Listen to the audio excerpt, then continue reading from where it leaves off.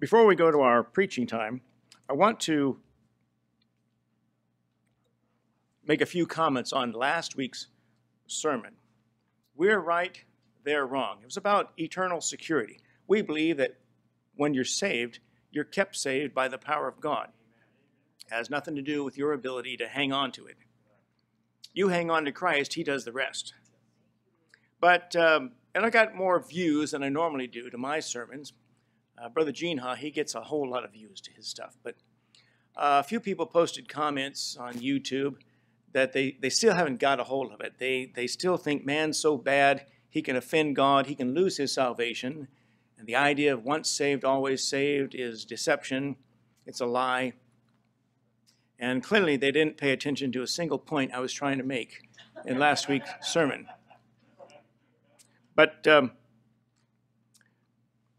let me address that, address that sentiment that somehow you can still lose your salvation, you can destroy what God has wrought in you. And this might even be a primer on dispensationalism. Moses told Israel, Deuteronomy 6, verse 25, And it shall be our righteousness if we observe to do all these commandments before the Lord our God as he hath commanded us. We'll do exactly what he tells us to do, and it will result in our righteousness. Consider what the Bible says about Zacharias and Elizabeth, John the Baptist's parents, still living in Old Testament times before the birth of Jesus. Luke 1, verse 6.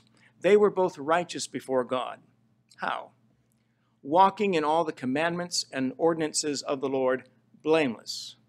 That's how someone was identified as being righteous before the grace of God was brought by the Lord Jesus Christ.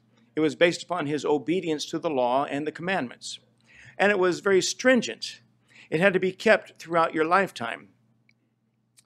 But when the righteous turneth away from his righteousness, and committeth iniquity, and doeth according to all the abominations that the wicked man doeth, shall he live? All his righteousness that he hath done shall not be mentioned. In his trespass that he hath trespassed, and in his sin that he hath sinned, in them shall he die. Ezekiel 18, verse 24. You could lose that righteous standing through sin in the Old Testament. David prayed, uh, Cast me not away from thy presence, O Lord, and take not thy Holy Spirit from me. I, uh, Psalm 51, verse 11. That was a possibility in the Old Testament. Your righteousness was measured by your degree of faithfulness to God's commandments, but it had to be kept throughout your lifetime.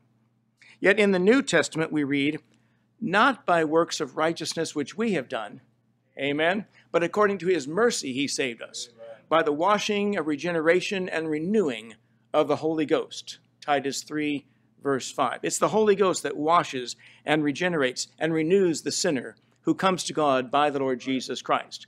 You don't do it, he does it. All you can do is the trusting.